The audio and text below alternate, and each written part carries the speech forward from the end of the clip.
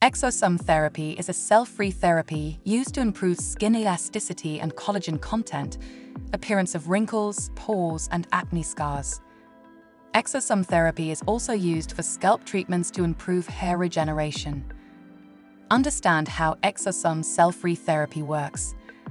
Learn about the many uses of exosomes in the aesthetics industry and feel confident introducing this treatment at your practice. Safely incorporate exosomes into skin microneedling and mesotherapy treatments.